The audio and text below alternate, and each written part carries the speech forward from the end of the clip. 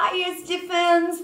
So, my name is Amanda, but you can call me Blizzard. I've been on SG since 2017 and I'm a cosplayer, I'm a cosmaker. I love video games and all the geek universe actually. So, ask me anything in the comments below and I'll answer all your questions on SG YouTube channel.